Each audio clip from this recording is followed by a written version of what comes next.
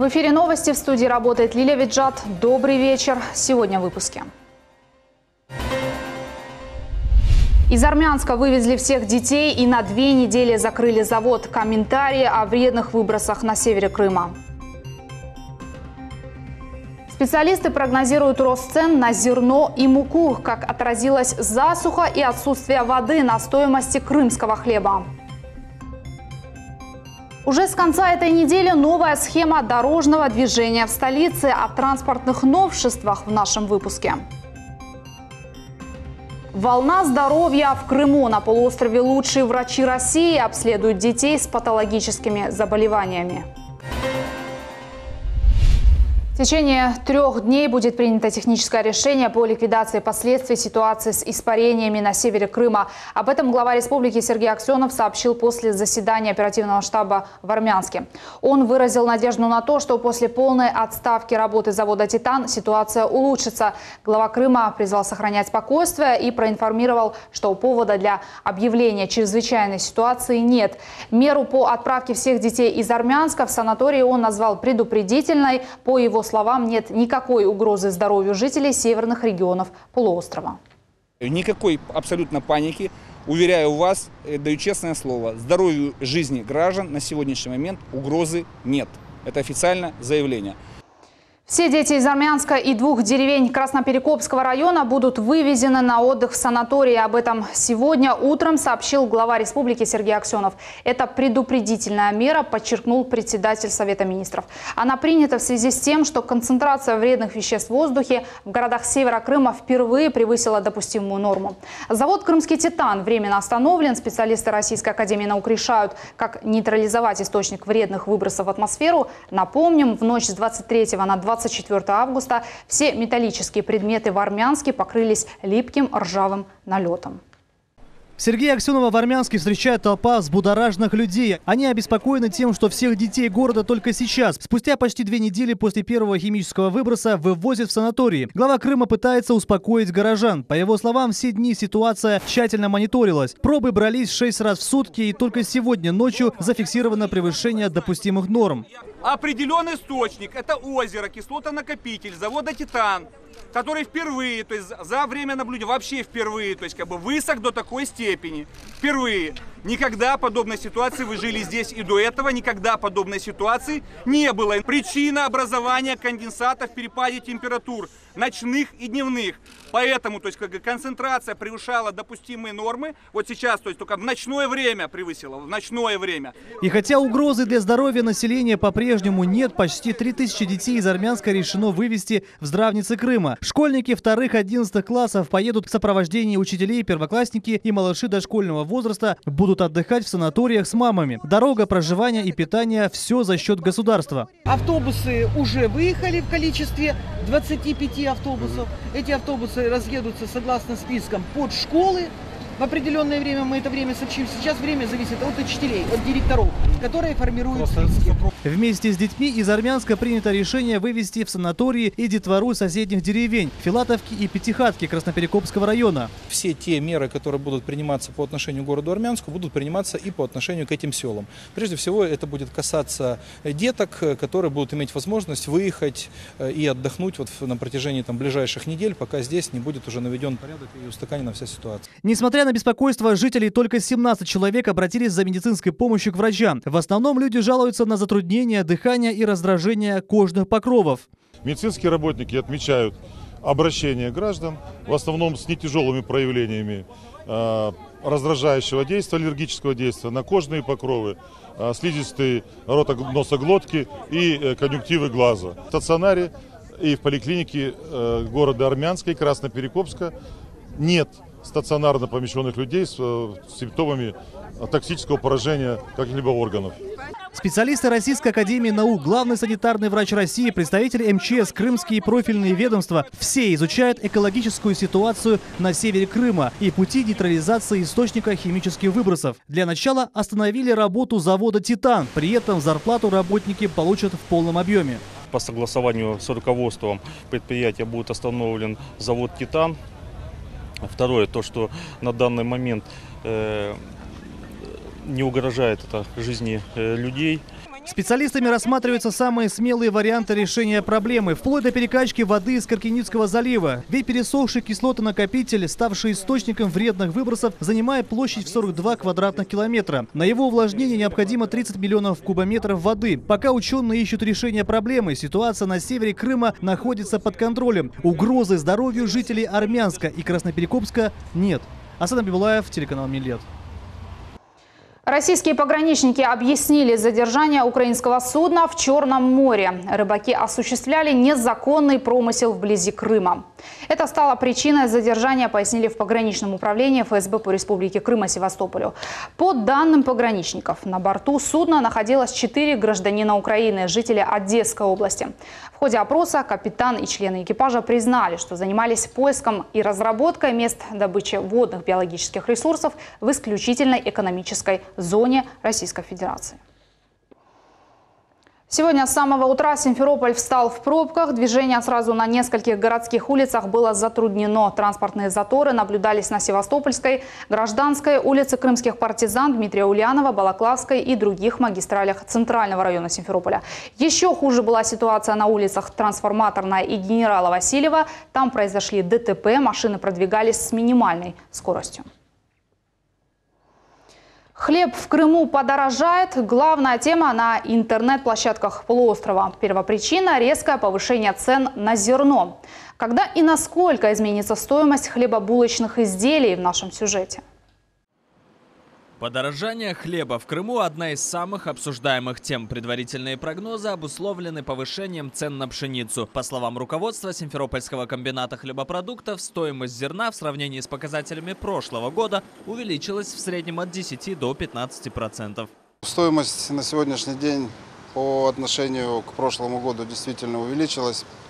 Общеизвестный факт, что в этом году в связи с э, достаточно сложными погодными условиями был неурожай э, пшеницы, в том числе и продовольственной группы. Э, выкладываем запросы котировок, торгуемся на понижение на площадках, делаем максимально все для того, чтобы приобрести продовольственную пшеницу третьего и четвертого класса по более или менее приемлемым ценам. Причин, как пояснили несколько, это и засуха, и ориентир на курс доллара, и повышение цен на остальные компоненты муки. Казалось бы, логичное и дальнейшее подорожание конечного продукта – хлебобулочных изделий. Однако на крупнейшем предприятии республики Крымхлеб уверяют, что в ближайший год цена останется прежней. Правительством Республики Крым поставлена задача цену на хлеб удержать. Э, есть ряд меропри... разработан план мероприятий, э, уже принимаются меры определенного характера именно Министерства сельского хозяйства в лице Римшина Андрея Васильевича.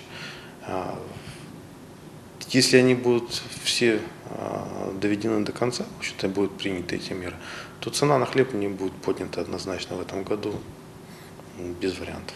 Как компенсируют убытки на предприятии Крымхлеб, нам пока не объяснили, но уверили, что цена останется прежней как на формовой хлеб, тот самый кирпич, так и другие виды хлебобулочных изделий.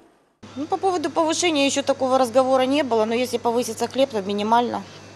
Не думаю, что будет большая цена и упадет спрос на хлеб. Также будут приходить и будут брать хлеб всему голова. Для государственного предприятия повышение цен на пшеницу может и не проблема, а вот частным пекарям придется покупать муку дороже. И всеми любимые лакомства из тандыра, лепешки и самса точно могут подорожать. Энвер Аблези, Сервин Миралиев, телеканал Миллет. Новый терминал международного аэропорта Симферополь обслужил 3 миллиона пассажиров с момента его открытия. Это около 30 тысяч пассажиров на вылет и прилет в сутки. Чаще всего в Крым прилетают семьи с детьми. Юбилейным пассажиром стала жительница Калуги Юлия Космакова, прилетавшая в Крым на отдых с сыном.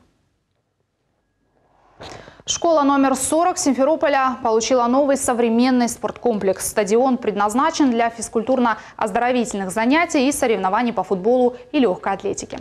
Спортивный комплекс состоит из футбольного поля с искусственным покрытием, беговых дорожек, футбольной и баскетбольной площадок. Также обустроена трибуна для зрителей. Площадки мы такие делаем каждый год. В этом году мы сдаем три таких площадки. У нас в планах на следующий год еще несколько спортивные кластер спортивных при школах. Вот, это такая перспективная задача вот, э, администрации городского совета, депутатов Республики Крым, чтобы в каждой школе был такой стадион. Сегодня в Крымско-Татарском драматическом театре состоялась конференция с представителями Совета крымско-татарского народа и новым художественным руководителем. На собрании были обозначены приоритетные планы работы. По словам директора, все премьеры и масштабные проекты на первое время останутся без изменений. В дальнейшем репертуар и творческие задумки потерпят серьезных изменений. Планов у нас много. Вскоре, 6 сентября, состоится премьера нового юмористического концерта «Ой, на эх кулеик». Приглашаем всех, приходите. Уверена, многим понравится, захотят еще раз прийти. В октябре состоится еще одна премьера. К нам придут новые молодые режиссеры. На данный момент у нас новый художественный руководитель Эльдар Джалилов. Будем работать, будут новые номера и, конечно же, с приходом новых молодых актеров со временем поменяется и репертуар. Представители Совета крымско-татарского народа отметили, что приход нового директора – это новый этап в жизни крымско-татарского театра. Рассказывают, что кандидатуру поддержали единогласно как Министерство культуры, так и актеры. Так как ее жизнь напрямую связана с театром, она на протяжении долгих лет работала замдиректором в этом же театре и закончила режиссерский факультет. Бүгін коллектив Коллектив театра готов к переменам, хотят и горят желанием плодотворно работать, и в этом направлении мы желаем им удачи. Дай Аллах нам видеться на новых хороших премьерах и постановках. С 8 сентября в Симферополе изменится схема дорожного движения. Пять улиц в городе станут односторонними. О причинах нововведения расскажет Султаней Стакаева. Одностороннее движение ведут на пяти улицах Симферополя. Соответствующие знаки появятся после 8 сентября. Они будут размещены от бульвара Франко до проспекта Кирова. Это позволит значительно упростить движение в этом оживленном районе. Изменения коснутся пяти улиц. Так, по Менделеева можно будет проехать только в сторону Кирова. В обратном направлении будет открыто движение по улицам Попова и Декабристов. По Тренево транспорт будет двигаться от бульвара Франко до улицы Хмельницкого, а по Хмельницкого только в сторону Декабристов. Мнения водителей по этому поводу расходятся. Да нормально, что. Одностороннее движение надо обязательно водить, потому что машины негде стоять, очень много машин. И надо, э, будет хорошо, если только будут машины стоять с одной стороны, по ходу движения, э, остановка, стоянка, остановка. Вот тогда будет удобно. С одной стороны удобно, потому что будет меньше припаркованных машин и удобнее будет добираться. А с другой стороны мне необходимо будет сделать круг, чтобы вернуться опять на проспект Кирова и уезжать туда, куда мне нужно. Глава Симферополя отметил, нужно разгрузить город. Утром и вечером этот район становится проблемным. Проехать зачастую просто невозможно. Слишком узкая проезжая часть и припаркованный транспорт. Вот две основные причины транспортных заторов. Машин не уменьшается, только увеличивается. Безвыходная ситуация, поэтому мы должны будем работать. Если кому-то что-то неудобно, ну что, придется смириться с этим, потому что иначе всем будет неудобно, все будем стоять в пробках. Вот такая ситуация. Сейчас уже принят проект. В паспорта улиц внесены изменения. В первое время автоинспекторы будут следить за ситуацией на дорогах и предупреждать водителей. Султаней Стакаева, Виталий Голубев, телеканал «Миллет». В этом курортном сезоне в Крыму отдохнуло почти на 30% больше туристов, чем за аналогичный период прошлого года. Об этом рассказал глава комитета по санаторно-курортному комплексу и туризму Республики Крым Алексей Черняк. По его словам, к концу августа Крым посетило свыше 5 миллионов отдыхающих. Популярность полуострова среди туристов растет и за счет доступности курортов Крыма. Это стало благодаря строительству моста. Сейчас полуостров приближается к рекорду, который держался 25 лет на Украине – 6 миллионов туристов за год год. Крым лидирует и в ценовой политике. Здесь можно найти отдых на любой кошелек. КФУ планирует закончить ремонт в общежитиях до конца октября. Об этом сообщил проректор по академической и административной политике университета Владимир Курьянов. Он рассказал, что во втором общежитии будут отремонтированы все санузлы, все комнаты, заменена мебель. Комфортнее станет и студентам медицинской академии. В их общежитии проходит косметический ремонт комнат, замена труб, отопительных приборов. На данный момент идут работы и в учебных корпусах. Сроки окончания работ плановые – это конец октября. Работы начатые. Они э, уже находятся, так сказать, в разгаре. Вот, и мы очень надеемся, что подрядчик сроки нам не сорвет, потому что это создаст очень большие трудности для наших студентов прежде всего. А вот Крым накрыла волна здоровья. Это теплоходный тур с бригадами квалифицированных врачей и высокотехнологичным диагностическим оборудованием. Специалисты планируют за два дня обследовать три сотни крымских детей. Как прошел первый день оздоровительной акции, смотрите в нашем следующем сюжете.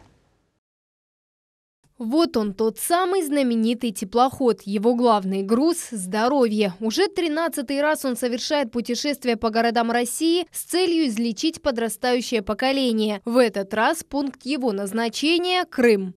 Главная цель акции – это оказание помощи э, детям с врожденными пороками сердца, нарушениями э, зрения, слуха и многими другими нозологиями. В а, нашей работе принимают участие 7 федеральных центров. Не просто приехали врачи из федеральных центров, а это самая высокая квалификация и самое точное оборудование для того, чтобы конкретно определиться по каждому ребеночку. Стартовала акция 2 сентября в Сочи. Затем делегация врачей посетила Новороссийск. За два дня они обследовали 393 ребенка. Сегодня их с радостью встретили в детской республиканской больнице имени Титова. Есть мембрана, есть недостаточность. У маленькой Даны врожденный порог сердца. Она борется с недугом почти 4 года. Мать девочки не теряет надежды и хватается за любую возможность вылечить ребенка. Мы вообще едем как бы в Москву на операцию, видишь, мы собираем документы, будем госпитализироваться в Москву. За первый день акции в Крыму врачи осмотрели сотни пациентов. Некоторых из них в скором времени направят в Центр сердечно-сосудистой хирургии для необходимой коррекции, поскольку на полуострове сделать некоторые операции невозможно. В Крыму отсутствует своя кардиохирургическая помощь. Поэтому они не могут оказывать специализированную высокотехнологическую медицинскую помощь и нуждаются в помощи э, регионов, ну и в первую очередь, безусловно, на помощь приходит э, институт имени Бакулева. Также крымчанам представили мобильные диагностические и лечебные комплексы. Современное оборудование дает возможность оказывать необходимую помощь в экстренных ситуациях. Ребенок или любой человек определяет свои резервы, получает рекомендации, то есть он может их изменить. Он может быть здоровым и не обращаться к врачу. Волна здоровья продлится до 7 сентября. Завтра медицинские специалисты отправятся в Ялту. Также в рамках акции на полуострове проходит ряд мероприятий с целью популяризации здорового образа жизни. Фатиме Сейдаметова, Ирвина Миралиев, телеканал «Милет». И на этом наш выпуск завершен. Я желаю вам хорошего вечера.